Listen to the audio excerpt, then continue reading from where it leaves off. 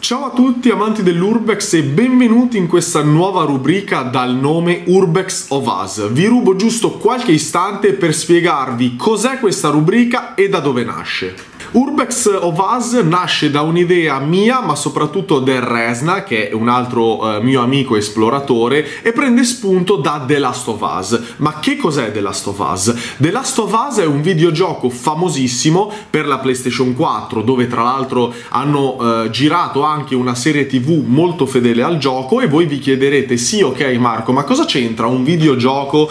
Cosa c'entra The Last of Us con l'Urbex? Ve lo spiego subito. Praticamente praticamente The Last of Us è ambientato ai giorni nostri ma in un mondo completamente abbandonato. Perché? Perché la razza umana, a causa di un virus, a causa di un fungo, come lo chiamano loro, è sull'orlo dell'estinzione. Quindi in poche parole il mondo è completamente abbandonato e io, tramite il protagonista Joel, il protagonista di The Last of Us, vi porterò a tutti gli effetti eh, ad esplorare questo mondo abbandonato. Scuola scuole, strutture, ville, case, intere città completamente abbandonate. Ora che vi ho spiegato questo e, co- e vi ho spiegato cos'è Urbex of Us, sigla e video.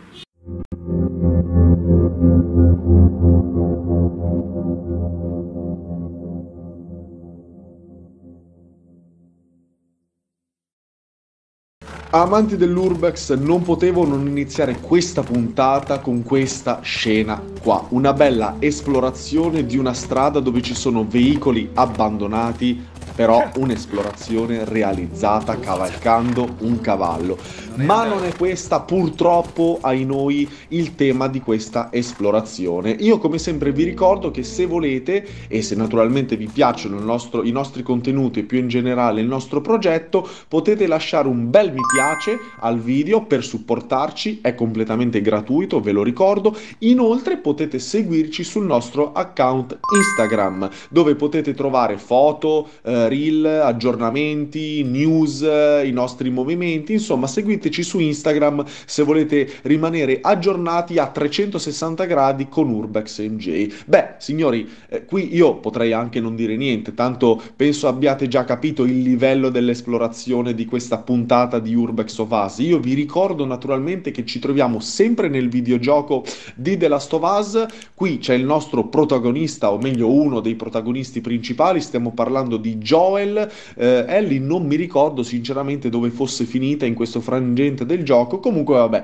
esploriamo anche senza Ellie. Questo, questo non è un problema, poverina Ellie. Comunque, ragazzi, avrete amanti dell'Urbex già capito il livello di questa casa abbandonata. L'ho definito io uno chateau. Uno chateau, beh, prima di tutto vuol dire castello in francese, però in termini, eh, in termini diciamo urbex, uno chateau si definisce un postone, eh, uno, un un castello, un villone abbandonato appunto in Francia. Io questa villa l'ho ribattezzata Villa Cervo poi capirete il perché, quindi mi raccomando state sintonizzati anche questa volta in questa puntata. Beh, beh, beh, qua tra l'altro possiamo notare la cucina, niente male, cioè praticamente è più grande la loro cucina rispetto a casa mia. Cavolo, solo la cucina varrà il prezzo di tutta casa mia, poi andiamo al piano di sopra ragazzi, eh? quindi ve lo ripeto, restate fino alla fine perché questa esplorazione è veramente top. Qui arriviamo in quella che a tutti gli effetti penso e credo fosse la sala da pranzo. Poi ragazzi, amanti dell'Urbex, naturalmente qualora dovessi sbagliarmi, dovete, dovete, non potete, dovete potete eh, assolutamente correggermi nei commenti. Ecco, qui i lampadari forse sono l'unica cosa che peccano in The Last of Us, eh, nelle puntate di Urbex of Us, però ragazzi, cioè, ma guardate... Ah no, quello chi è?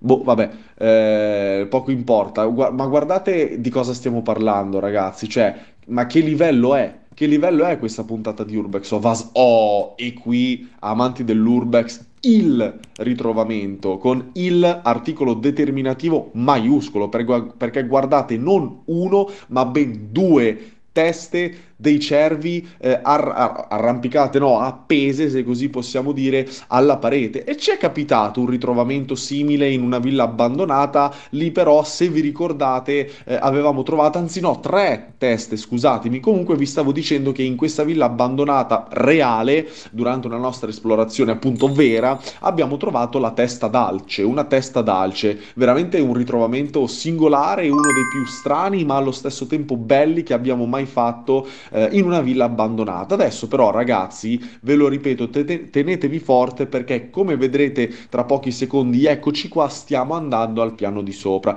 Cosa possiamo trovare al piano di sopra? Beh, quello che non abbiamo trovato al piano di sotto, quindi al piano terra non abbiamo trovato stanze da letto, quindi di conseguenza al primo e ultimo piano di questa villa abbandonata, anzi di questo chateau di questa villa del cervo abbandonata, troviamo, come vi dicevo poc'anzi, le stanze da letto.